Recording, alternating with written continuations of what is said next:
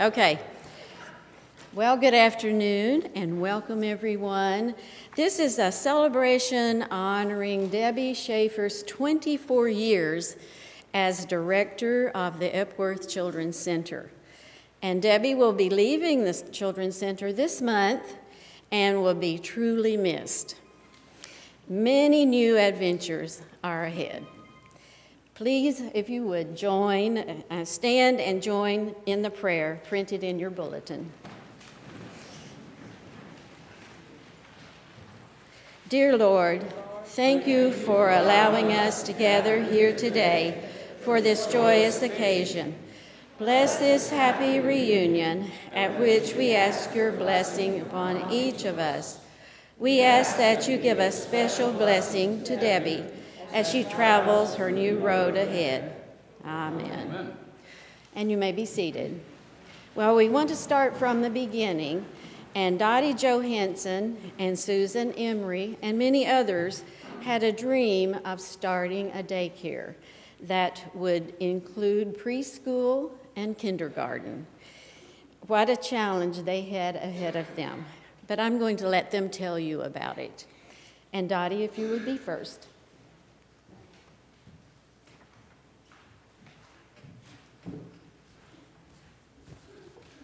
Oh, there's this little stool back here.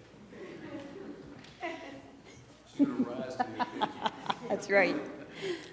Hello, my name is Dottie Johansson, and I want to briefly take you back to the beginning of the Epworth Children's Center. While I'm talking, take a look at a few pictures. See if you recognize anyone. In 1988, Reverend Jeff Jones was approached by a local child care facility who wanted to operate at Epworth. At one of our Council on Ministries meetings, this was discussed and determined that the community did indeed need a reputable daycare center.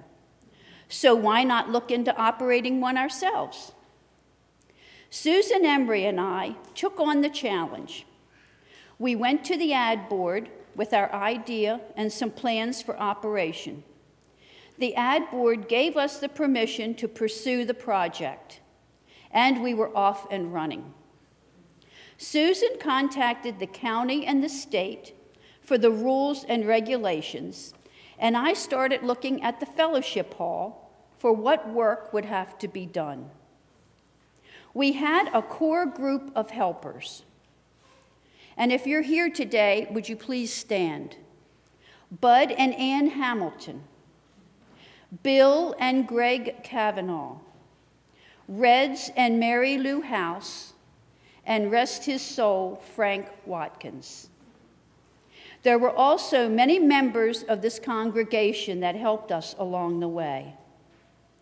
Rooms were configured, cubbies were built, an office established, the entire hall was painted.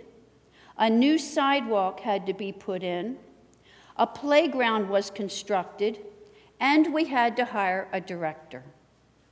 All of this was a team effort and was a labor of love. We would all work at our paying jobs during the day, and several nights a week, as well as weekends, we would meet at the church and work for hours on these projects. Many of us would then meet at TCBY for our planning sessions for the week. Now, not all of the congregation was in favor of the daycare. Some felt it took away their fellowship hall. So, to accommodate everyone, early every Sunday morning, we would move all the cubbies, followed by rugs, tables, and chairs, and several rooms of daycare equipment against the walls. We would then set up the tables for coffee hour. Afterwards, we would reconstruct the daycare rooms for operation on Monday morning. As with any new venture, there were always bugs to work out. One of the major problems occurred when there was a heavy rain the fellowship hall would flood with water coming in under the double doors. And any of you that were around during that time, you know exactly what I'm saying. Often the hall would be soaked from the nursery room to the choir room and halfway to the kitchen. So the call would go out, and many hands would show up with brooms, wet vacs, and fans to remove this water so that the center could open the following day. This was a terrific amount of work and often occurred in the middle of the night. Now, I have to make a comment here. Remember, we were all 25 years younger at that time. The first director was replaced in the fall of 1991 by one Debbie Poole. What a great move that was by the ECC board. I would now like to introduce my partner in crime, Susan Emery, and Debbie, we all wish you the best in your well earned retirement.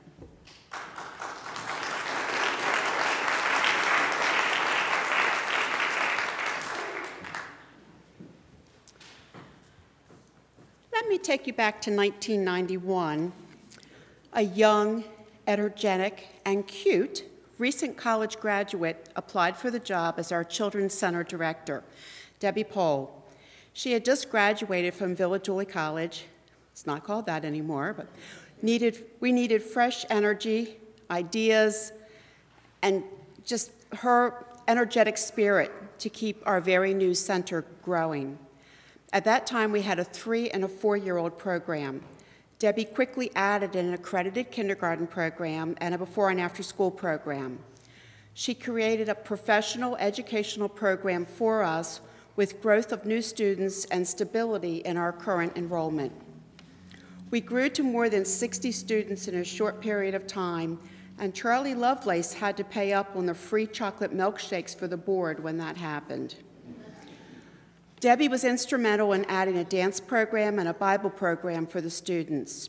The children loved the field trips that she added, the Mother's Day luncheon, and the Thanksgiving luncheon. Charlie Lovelace was a board member, along with Paul Lehman and Wayne Sutter, issued the payroll. And I believe that Jeff Jones and Bill Brown can fill you in on the later years after I left the board.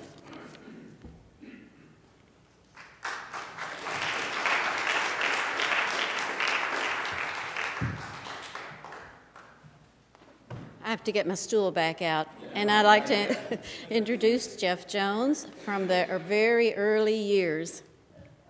No, no, no, leave the stool. Thank you. There, I feel better. Hey! I think we had a whole platform over there for. Hey, uh, delighted to be here to tell you that uh, we want to thank Debbie for all the years that she put into uh, guiding and directing the school. And I remember all those early, we had tape on the floor so everybody knew where to roll the things back to so that uh, and one of the early things that happened is that we had an annual Shrove Tuesday pancake supper. And when the uh, Children's Center took over, that made it very difficult. We didn't want to have to do two trips completely out and completely back. And um, Steve Cornett, the new owner of the McDonald's in Cranbrook Shopping Center, and I had become buddies. And so I was lamenting the fact that I love pancake suppers, and it was too bad we can't have one this year, breaking a tradition going back to Epworth's all of its history. And he says, Well, you could have the pancake supper at my place. And so he cleared out his shop and closed it except for drive through and did the pancake supper for Shrove Tuesday at the McDonald's. He had so much fun doing that on behalf of all the things that we were doing that he went out and bought another table for cooking the, the hotcakes.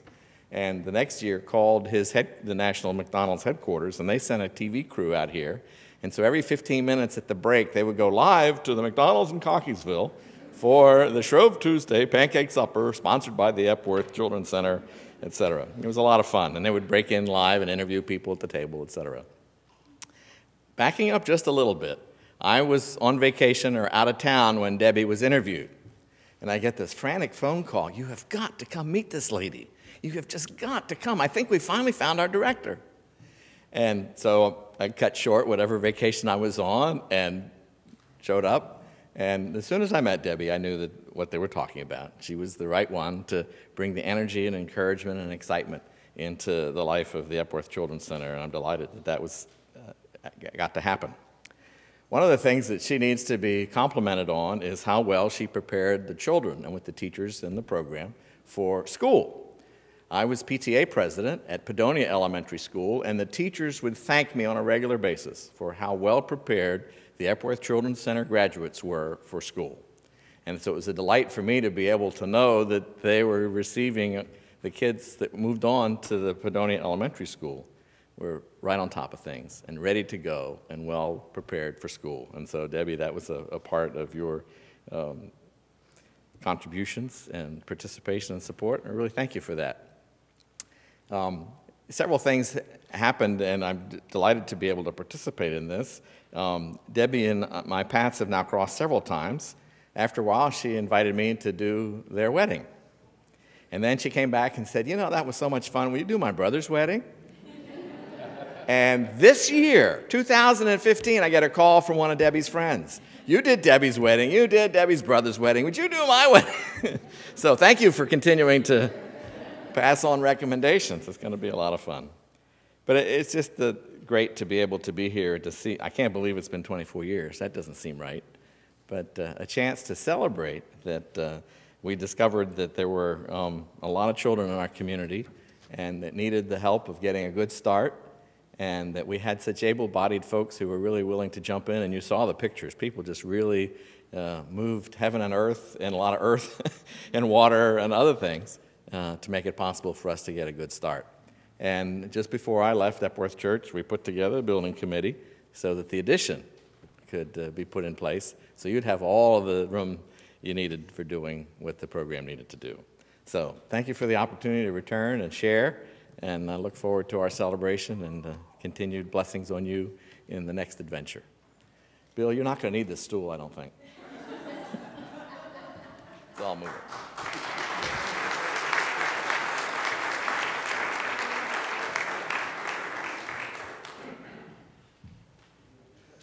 He moved, he moved my stool.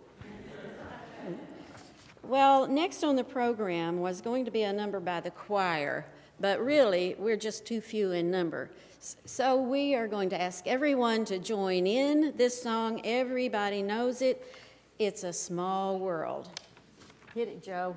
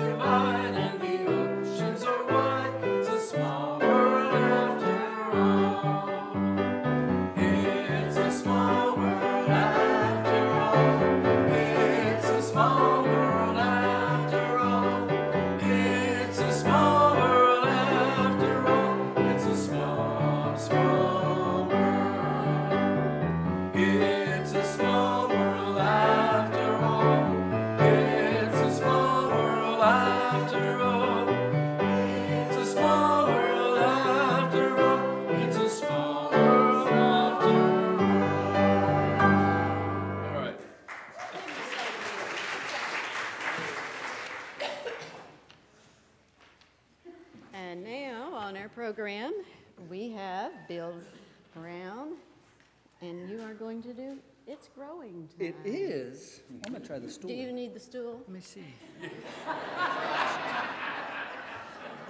Pull it back out when you leave. I will pull it back out when I leave. The song reminds me, it is a small world. Yesterday I was running in the Baltimore 10 miler with a group of my friends, um, running friends, and one, they took our picture, and one of them posted to Facebook, and Debbie was a Facebook friend with her, Sam, and commented that I was running in it. And Sam says, Oh, do you know Debbie? I said, Oh, yeah, I know Debbie very well. She goes, You know, she's Jewish. I said, Well, since I worked with her for seven years, yes, I do know that. And she goes, Oh, you're that Bill Brown. So I guess I don't know what you told them, but. So I've been asked to talk about growing time, and the only way I can describe how I feel about the growth of the, um, make sure I don't call it my church's one, what's it called? Epworth Children's Center, no yawning, young lady, um, is it's attached to the growth of my daughter. I think I was the first pastor here at Epworth that had a child in the Epworth Children's Center, and just to watch her grow as the program grow, and to be able to spend every day just a few steps away from my own daughter has been a blessing. I think it was also a blessing for the teachers because they knew if she was bad, they could bring her to my office. During that same time, in addition to the growth of the program here, was the growth of Debbie. And I don't mean up, I mean out. I believe it was you. and so to have both our daughters together in different classes but in the same program was always touching. Another growth area was the growth of my daughter's language while she attended the uh, preschool here. Thank you, uh, Mrs. Donna. I don't know if you taught her this, but one snack time. Tori was brought up to my office because she had turned to Miss Donna and said, You know, Miss Donna, after taking a bite of a very cheap store bought chocolate chip cookie, she said, Miss Donna, this was a damn fine cookie. Thank you, Miss Donna. Appreciate that. To be able to watch as your daughter attempts to do ballet, um, attempts to do tap dance, and all of the other wonderful extra opportunities that they had here. Just as a parent, you're just overwhelmed with the joy. Although at times I was accused of a few things. For example, when we first started making DVDs of Christmas programs, parents would wonder why the camera was on my daughter the whole time. And I said, because I was the camera operator, but it cost extra if you want the camera on your child. I also remember every Christmas, every Epiphany, um, my wife Michelle and I would host a Christmas party, and it was always based on our summer vacation the summer before. And why I remember the party so well is because at every single party, Mark had to spill something. It was usually a red beverage that was in a fluted glass on a light colored carpet. We got less for our resale on our house. Thank you, Mark.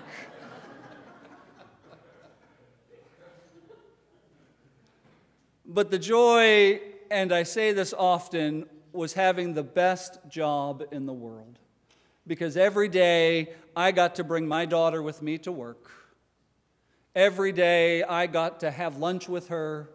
Every day I got to see her grow. Every day I got to play with and interact with kids.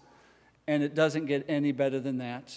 And I thank you, Debbie, for the opportunity you gave Tori. She would be here today, but she's at a fundraiser for her chorus with her mom. She has fond memories of kindergarten here mostly, but just I have the most fond memories of being able to watch my daughter grow, and that's because of you. In the Talmud, which is a collection of Jewish ceremonial law and legend, there is a saying, Debbie, that says if you want to leave a legacy, if you want to have an impact on this world that lasts long after you're gone, plant a tree, write a book, or have a child. I don't know if you've planted trees. I know you've had a child. I don't know if you've written a book. But you have had an impact that will last long after you're gone, and that is every single student that has walked in the doors and the lives you have touched and how they are changing lives because of you. So God bless you and thank you.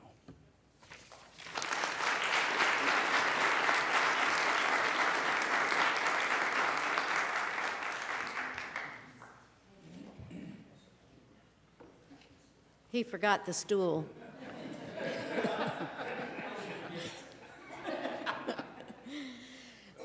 Reverend Kim Hall would have loved to be here. She was former, a former pastor. She is now a U.S. Army chaplain and she's stationed in Germany. But she sent a letter to you, Debbie, and Ann, Hamilton is going to read the letter. Do you need the stool, Ann?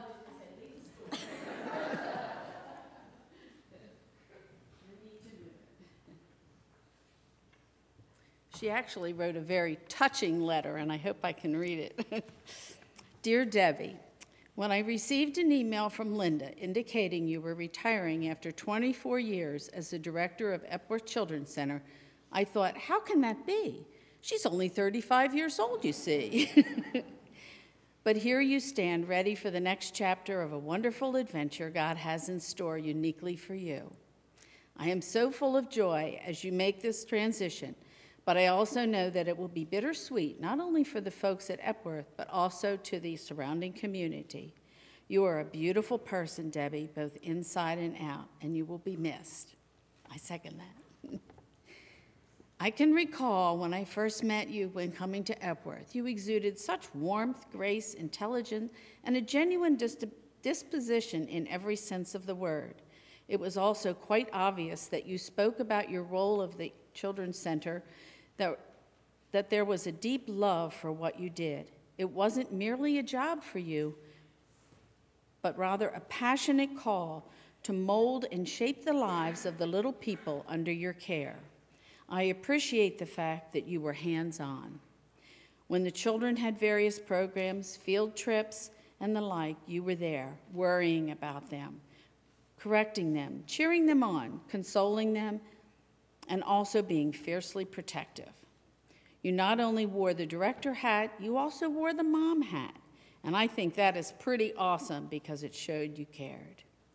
I used to always say that if I had children, I would send them to Epworth Children's Center, and I meant it.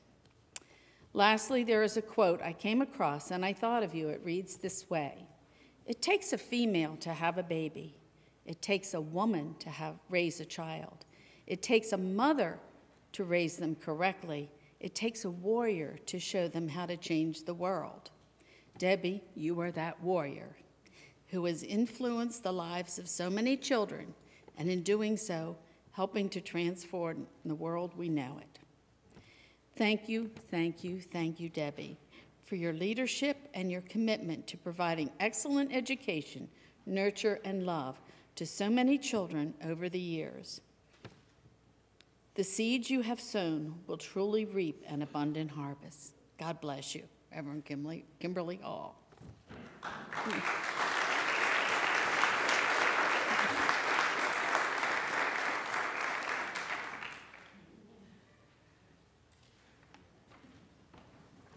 And now Reverend Trish has a few words. Do you want the stool or the microphone?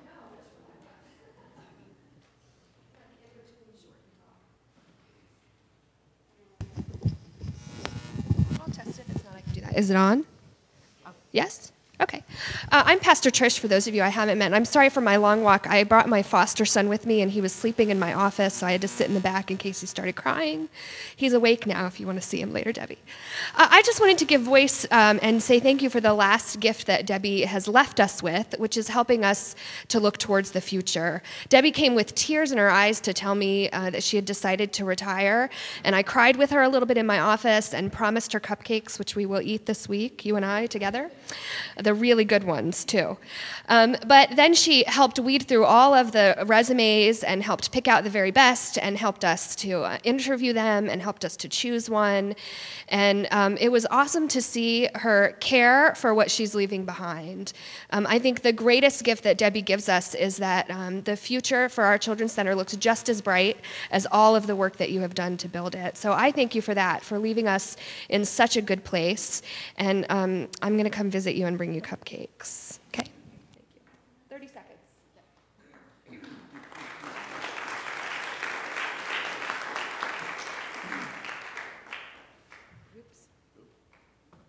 And now we really are going to sing, and I would like all of the teachers, former teachers, the alumni, Debbie, people who have worked hard, pastors, up in the front, we're going to sing a song, and you will all know the words. Don't be shy. I need.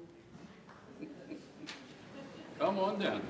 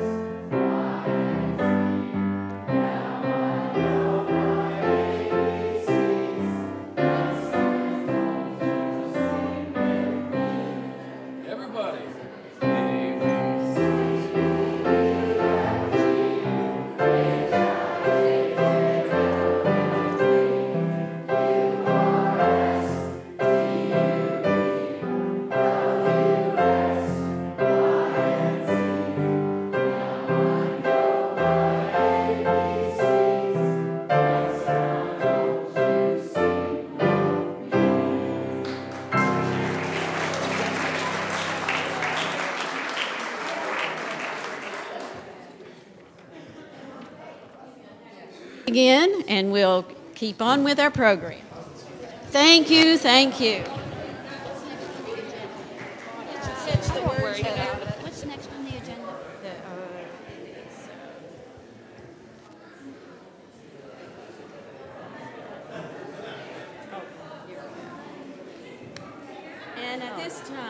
Debbie would like to say a few words.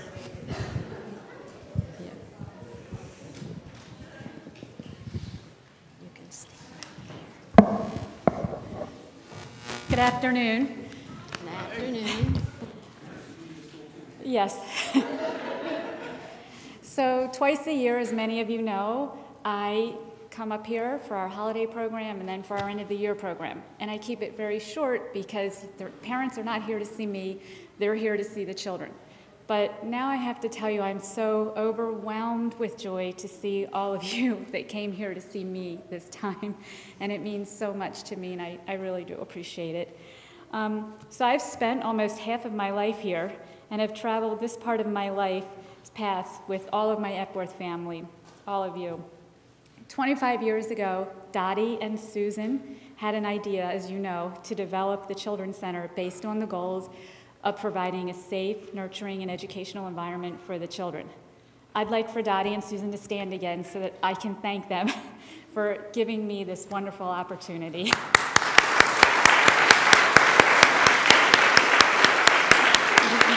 Thank you.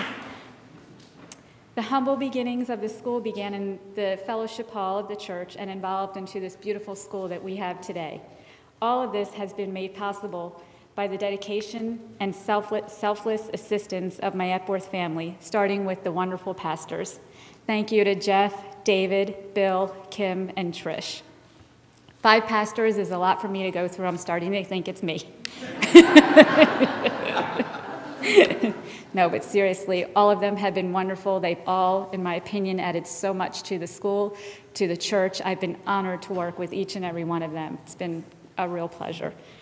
Um, thank you to all of the ECC board members. They've provided me with support through the years. They've helped to guide me. They've given me so much strength. I'm so fortunate. Um, I want to thank some of them Linda and Milt, um, Steve, Glenda, who was our treasurer from the beginning, or almost the beginning. She's here also. Um, Mary Palmer, who was in the church for a very long time. Um, all of the other board members on the Children's Center, I'm so appreciative that you have helped me all these years. Um, I also want to thank the um, members who are no longer with us, but very close in my heart, Paul Lehman and Joyce Ramirez, who have helped guide me through all these years as well. Without the group that we have, the teachers, I would never have been able to do any of this on my own. Um, I also want to thank Pam Weishi. Pam, if you can just stand for a second, please. I'm so honored and touched and surprised that she is here. When I was on maternity leave, Pam stepped in and she just and had a lot of fun, did a great job, and I am honored that you came here today. Um, if the teachers that have been with me, that are here today, can stand, I'd really like to appreciate, give them a round of applause if they can stand.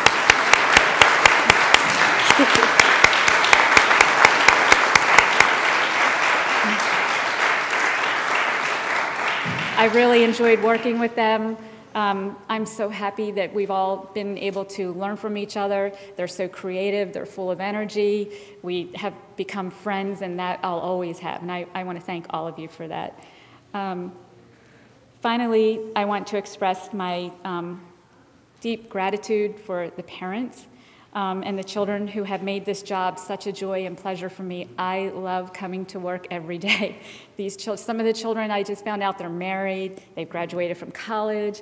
You know, it, where does the time go? But I, I'm so honored that you let your children come here to Epworth so that we can help to mold them and be a part of their life. And it's just amazing how I don't know where the time goes, but um, so. And like this path I'm entering into my next stage to retirement, I will be able to spend some more time with my family um, and pursue some personal interests. Um, I've never thought of myself as an employee of Epworth. I've always considered myself a member of the Epworth family. And I really appreciate all of the kindness and support that I've received from all of you through the year, um, through the years. One last thing that I just need to add is that when I started here, we did have an accredited, we, we had a kindergarten program, and the teacher in the kindergarten program, her name was Susan, and she actually introduced me to my husband, Mark. And that was the greatest gift, one of, that I have got from the Children's Center was to be able to meet and to marry my husband, Mark. So um, all good things have happened since I've been here, and I'm so happy and just appreciate all of you supporting me. And I will miss everyone, but I'll be back to visit. So thank you.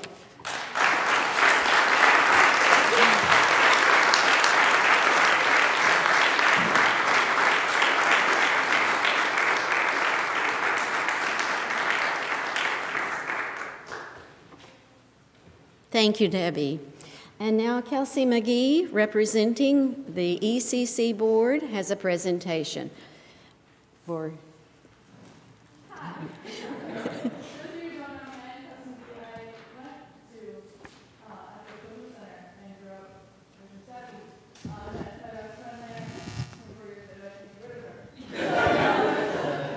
Thank you for all you have done and we just have a oh, Sorry, I thought it was loud. Um, I got my teacher voice on. So yeah, and I have become a teacher. So thank you so much for everything you've done for us. And this is from the ECC board, just some flowers and a small gift.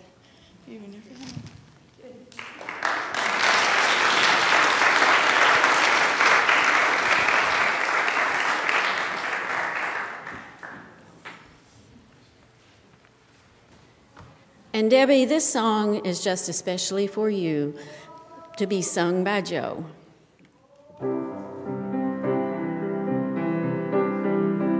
May the good Lord bless and keep you, whether near or far away. May you find that long awaited golden day today. May your troubles all be small ones, and your fortunes ten times ten. May the good Lord bless and keep you till we meet again. May you walk with sunlight shining and a bluebird in every tree.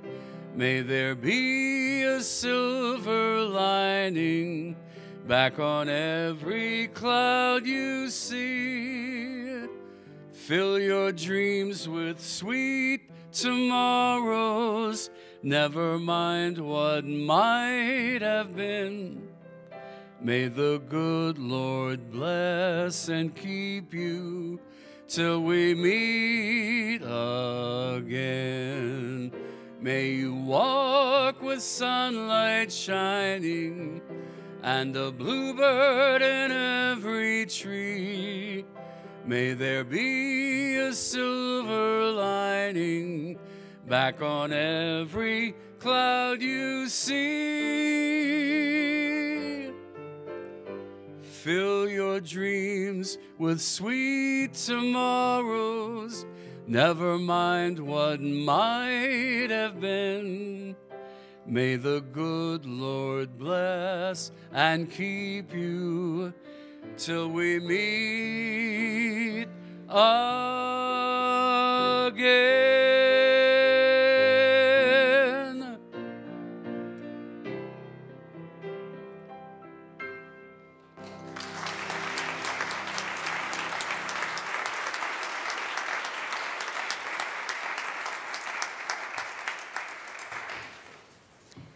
Thank you, Debbie, for your service.